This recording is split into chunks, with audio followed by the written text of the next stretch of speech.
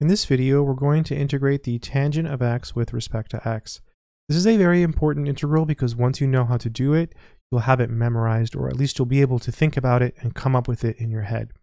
Let's go ahead and work through it. Solution. I'm going to start by writing it down again. We have the integral of tangent of x with respect to x. And the technique is as follows. You want to write tangent as sine over cosine. So this is the integral of sine x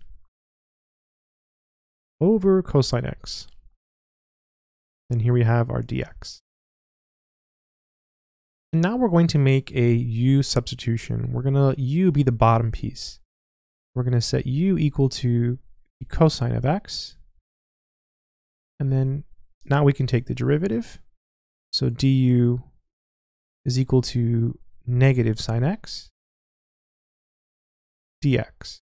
That's because the derivative of cosine is negative sine. And we have negative sine x dx. However, in our problem, we just have sine x dx. So what you want to do is you want to make this piece here, this negative sine x dx, look like what you have in the problem. So we can divide or multiply both sides by negative 1. That will give us negative du equals sine x dx.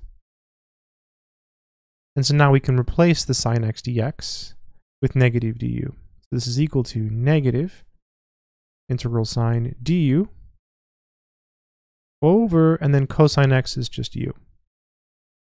And this is a special formula. This is going to give us negative ln absolute value of u plus our constant of integration.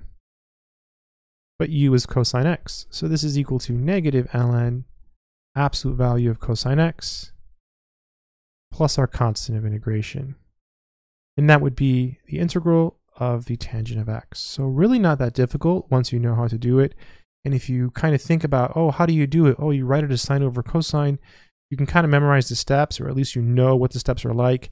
And so that can lead you to memorizing the answer. Hopefully this video has been helpful. Good luck.